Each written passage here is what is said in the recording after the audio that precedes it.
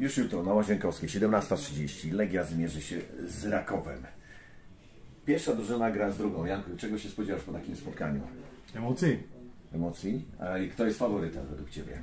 To jest dobre pytanie i mam nadzieję, że może nie ma w tym meczu faworyta, bo taki mecz trudno faworyta, ale mam nadzieję, że Legia uda się zdobyć trzy punkty i będzie to ciekawsze widowisko i Będą emocje do końca sezonu, tak tak? jest, to, to byśmy wszyscy, wszyscy chcieli. Pełny stadion, zapraszamy serdecznie. Sobota, 17.30.